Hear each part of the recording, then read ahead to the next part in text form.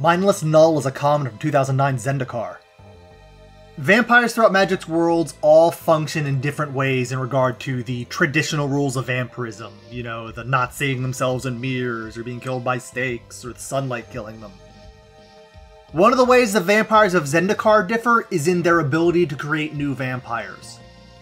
Only the Blood Chiefs of the five vampire families can create new vampires. A Blood Chief's bite strikes their victim with the traits of the Blood Chief, and that's how you get these bloodlines and families that have similar traits. If a regular vampire were to drain a victim of blood, that creature does not become a vampire. What you have there is a null.